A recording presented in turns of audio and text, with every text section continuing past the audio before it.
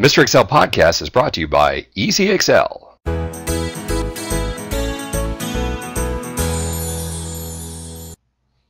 Hey, welcome back to the Mr. Excel Netcast. I'm Bill and today's question sent in by David. Um, David, this is a great question. He says, Why can't text to columns fixed width go right to left? And I said, David, I don't understand why you would want to do that. And he said, uh, You know, hey, it's pretty simple. I have this two character suffix at the end of these part numbers. I need to grab those two rightmost characters.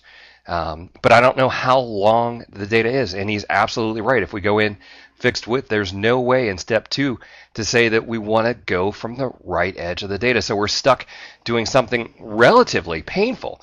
Equal right of this data comma 2 will get me those two characters.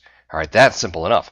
But then to get the rest of the stuff, uh, well, okay, equal left of A2.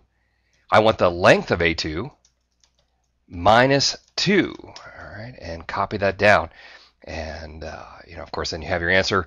You need to convert those formulas to values. So control C and then home paste paste values or whatever method you like to use. Uh, so David, that unfortunately is what we're stuck with. Now, David said, hey, why don't you ask Microsoft to do it the other way? And I'll certainly pass that along, but you know, it might be three, two, three, four versions Excel, you know, 2020 before we uh, ever see them add that in. So David, thanks for sending that question in. Thanks to you for stopping by. We'll see you next time for another netcast from Mr. Excel.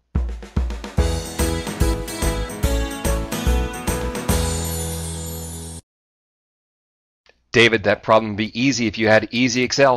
Columns, split columns, split the ID column from the right hand side, number of characters, three, create a remainder column, finished. There's your right three characters, there's everything else. Great way to go. www.easy-xl.com.